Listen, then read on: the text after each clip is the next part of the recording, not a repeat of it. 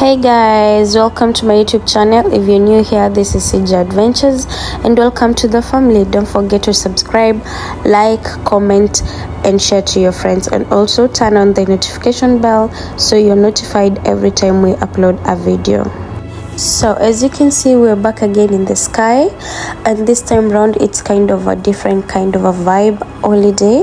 We basically needed a getaway from the busy schedule and the busy nairobi just to get to watamu and you know chill a little bit before we get back to you know back to the norm so the flight from uh, Nairobi to Malindi International Airport will take you about 55 minutes to one hour and you can actually take a flight from either JKIA or Wilson Airport. There is also the option of SGR and also a bus which will take you to the bus will should take you to Mombasa.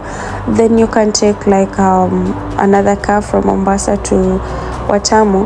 So you have those options. So yeah that's basically how to get to Watamu so and if you need help with the transfers and hotel booking you can just write to us on the comment section and I'll sure uh, get back to you.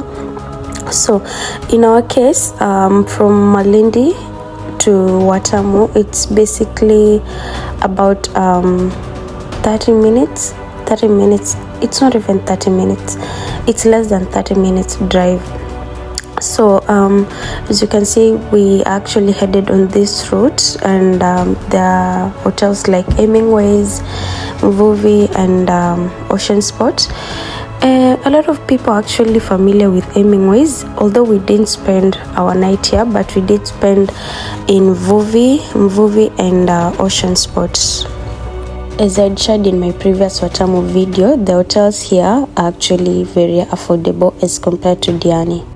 So this is Ocean Spot, like at the entrance, I'm walking to the reception for check-in and for lunch. Then uh, the best thing about this place is that you can actually go for the scuba diving for those who love diving and then also the best thing about Watamu is that it's well known for diving. So if you're a fan of diving this is the best spot for you. And as you can see from the outside the hotel actually looks really cute. So after lunch at ocean spot i went for swimming. And this is my day two checking in in mvuvi lodge. It's actually beautiful as you can see. And i love the design the art. Look at the wood. Like it's quite scenic. It's it's really beautiful. I loved it so much. The food was quite amazing. This is me having breakfast. Uh, i was literally almost done. I'd forgotten to capture but yeah here is it. It's amazing. So this was around 11 uh 10 10 11 p.m there yeah around that time. So we're basically chilling by the poolside and they're actually playing like cool music. I wish i could play it for you but because of copyright so i just have to like you know respect that. So yeah basically this is us trying to have the most of our time here of our last night before we get back to the busy schedule. So if you've seen this and maybe you would like to um, you have an inquiry on hotel bookings or anything like that just um, comment below and then we'll get back to you and help you with the booking and all that the itinerary. Yeah so our stay in Watamu, our short holiday, has come to an end, and this is us heading back to Nairobi, heading back to reality. And we just got to Malindi International Airport. It took us exactly 15 minutes. Previously, I didn't quite remember, so I said less than 30 minutes. But yeah, it's exactly 15 minutes from um, the hotel we were staying in. So, Kwaheri Malindi, till next time.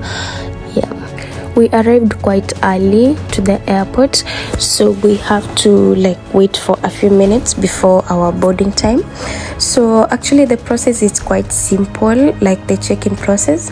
So basically okay i'm kenyan and this is a local flight so basically i show my id and then i get my ticket like printed. And yeah that is it. And i just come here look for space sit and wait for my for the boarding time. So it's quite simple.